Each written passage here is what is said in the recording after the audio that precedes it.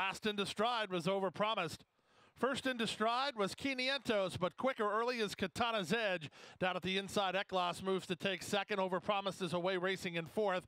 And Cyberjosh is fifth and last with five furlongs left to race with the advantage. Katana's edge, but only narrowly. Eklas down at the rail has position and a perfect tracking spot. Third is Quinientos. Gap of four to Overpromised, who's not looked comfortable yet. Second last while ridden, and the trailer is Cyberjosh. Past the half mile and moving to the far turn. The advantage to Eklas by a half a length.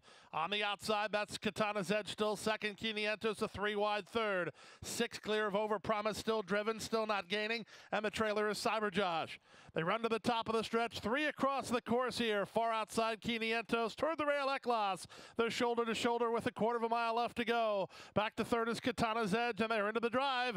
Eklas set down for the drive, trying to hold off a challenge from Quinientos, and he has something in the tank here. Eklas now three parts of length. Quinientos going to try him one more time, and this time he means business. Quinientos, vigorous pressure from Zayas. Eklas toward the rail, but Quinientos rises to the occasion. Quinientos with the win.